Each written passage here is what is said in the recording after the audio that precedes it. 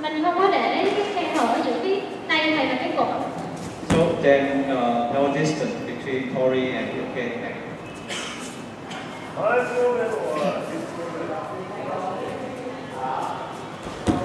Vấn đề nó có thể đến từ cả hai phía, từ Tori hoặc là từ UK. Cái này là trường hợp mà Tori di chuyển quá xa, thành ra là cái khoảng cách đó nó xa. Và người với cabin thì mình không có khoảng cách và mình luôn luôn theo cái người tôi đi So, so the UK must keep a close connection, no, no distance between uh, UK and Tori.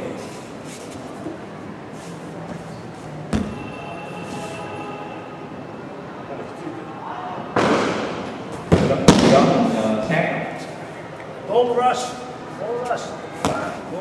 Mình đừng có làm mà hấp tấp thôi